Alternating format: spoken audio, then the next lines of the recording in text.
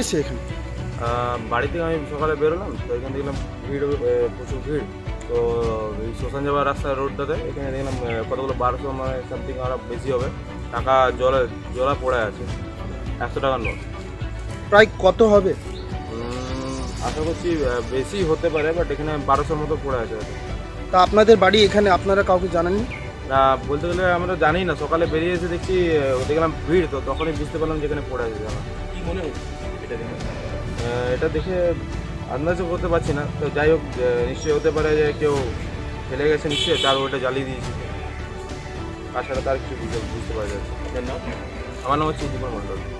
এখানে আমি বাবা এখান থেকে আসছে তো কিছু প্রত্যেক দিন যে ছেলেগুলো কাঠ পড়ায় তারা এসে দেখছে।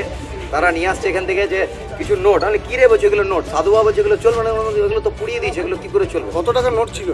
দেখুন, এখানে তো মিনিমাম এতগুলো অফিসার আছে, যতগুলো কালেক্ট করছে, ততগুলো এখানে রাখা করালাম এই নিচ থেকে নিয়ে এসেছিল।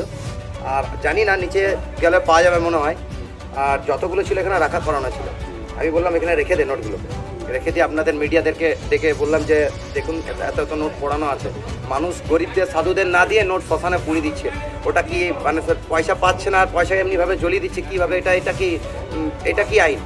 এই আইন, এমনি আইনের কি মা বাপ নেই?